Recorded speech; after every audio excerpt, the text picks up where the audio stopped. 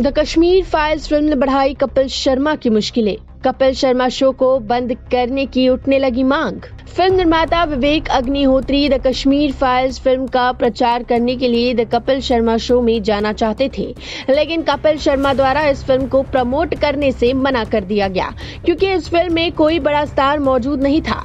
जिसके बाद लोगों ने कपिल शर्मा और उनके शो को भी ट्रोल करना शुरू कर दिया है और कपिल शर्मा शो को बॉयकॉट करने की मांग तेज हो गई है। विवेक अग्निहोत्री के मुताबिक कपिल शर्मा ने इस फ़िल्म का प्रमोशन करने से मना कर दिया था, क्योंकि इस फ़िल्म के अंदर कोई कमर्शियल स्टार मौजूद नहीं है। दरअसल ट्विटर पर एक यूज़र ने विवेक अग्निहोत्री को टैग करते हुए सलाह भी दी थी कि उन्हें कपिल से जुड़ना चाहिए। कपिल शर्मा शो के माध्यम से अपनी फ़िल्म का प्रचार करते हुए विवेक ने जवाब दिया कि मैं ये तय नहीं कर सकता कि कपिल शर्मा अपने शो में किसे आमंत्रित करेंगे और किसे नहीं, क्योंकि वो शो कपिल शर्मा का है और ये पूरी तरह से उन पर निर्भर करता है।